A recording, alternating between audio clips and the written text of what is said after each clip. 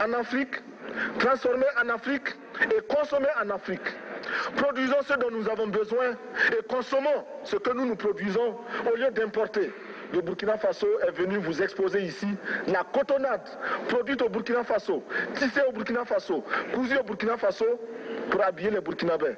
Ma délégation et moi-même, nous sommes habillés par nos tisserands, nos paysans. Il n'y a pas un seul fil qui vienne de l'Europe ou de l'Amérique.